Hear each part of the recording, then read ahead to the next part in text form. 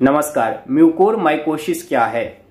Black fungus और white fungus के infection को मेडिकली टर्म में म्यूकोर माइकोसिस या जाइनोमाइकोसिस के नाम से जाना जाता है। यह शरीर के जिस भाग में इन्फेक्टेड होगा, उसको हम अलग अलग नाम से जानते हैं। जैसे अगर लंग्स में इन्फेक्टेड हुआ है तो पोलोनरी म्यूकोर माइकोसिस। अगर साइनस इन्फेक्टेड हुआ था और स्प्रेड होकर ब्रेन तक चला गया है तो राइनो सेरेब्रल म्यूकोर माइकोसिस। अगर पाचन संस्थान में इन्फेक्शन हुआ है तो गैस्ट्रो इंटेस्टिनल माइकोर माइकोसिस अगर स्किन के कट जाने से, जलने से सर्जरी या अदर कोई स्किन ट्रोमा के कारण ब्लैक फंगस का इन्फेक्शन हो गया हो तो उसको क्यूटेनियस म्यूकोर माइकोसिस। का इन्फेक्शन ब्लड स्ट्रीम के माध्यम से हो गया है जिससे vital organ liver spleen heart infected हुआ हो तो डिस इम्यूनेटेड म्यूकोर माइकोसिस के नाम से जाना जाता है। क्या यह कोई नई बीमारी है?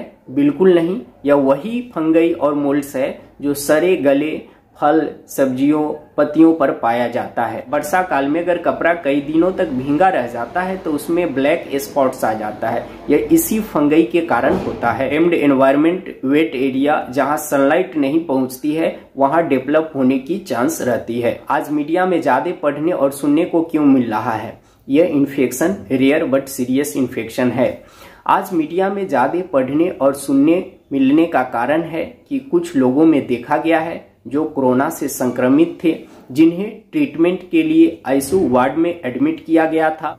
इस प्रकार के फंगई के इन्फेक्शन होने की संभावना किसमें ज़्यादा रहती है? जो व्यक्ति एम्यूनो सपरेटिव मेडिसिन ले रहा हो, जिसका ऑर्गन ट्रांसप्लांट हुआ हो, जिसका कीमो चल रहा हो बाईपास हुआ हो, किसी प्रकार की सर्जरी हुई बीपी और शुगर अनकंट्रोल रहता हो, और जिसको कोरोना संक्रमण के दौरान हाई डोज की एंटीबायोटिक्स एंटी इन्फ्लेमेटरी ड्रग के रूप में हाई डोज एस्टोराइड परा हो, जिसके कारण इम्यून सिस्टम बहुत कमज़ोर हो जाता है। क्या हमें इसे डरना चाहिए? बिल्कुल नहीं। डरना किसी समस्या का समाधान नहीं होता है। हो सकता है कई बार आप इस फंगई के संपर्क में आ चुके होंगे, आपको पता तक नहीं चला। इस जीव मंडल में सबसे पहले यही माइक्रोब्स आया। इसकी संख्या, हमारी संख्या से कई हज़ार गुना ज़्यादा है। एक दिन में कितनी बार हम लोग इस प्रकार के बैक्टीरिया, वायरस, फंगई के संपर्क में आते रहते हैं और जिसकी हमको पता तक नहीं होती है। डरना नहीं है, बल्कि स्वास्थ्य के प्रति जागरूक होना है। हम जो बता रहे हैं, वो पाँच हथियार आप अपने पास रखिए। अगर ये पाँचों हथियार आपके पास है तो दुनिया में ऐसा कोई माइक्रोब्स नहीं है और नहीं कोई ऐसा माइक्रोब्स होगा जो आपको हरा सकता है, जो आपको डरा सकता है। वो पाँच हथियार है proper diet proper exercise proper breathing proper attitude और प्रॉपर रिलैक्सेशन ये पाँच चीज़ है तो आप हमेशा आरोग्य रहेंगे, हमेशा स्वस्थ रहेंगे।